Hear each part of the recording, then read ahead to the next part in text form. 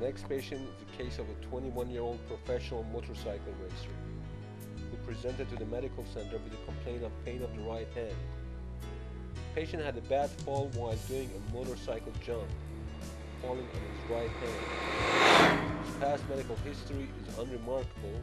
He takes no medications. He works hard and he has been racing since the age of 12. An x-ray showed Boxer's fracture.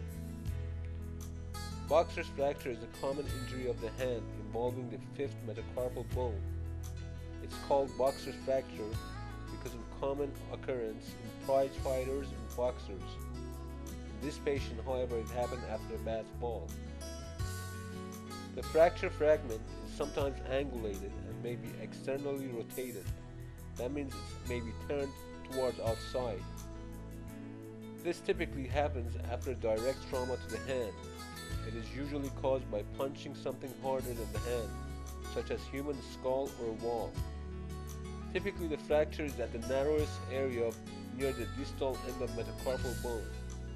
Treatment is casting the fracture hand and conservative therapy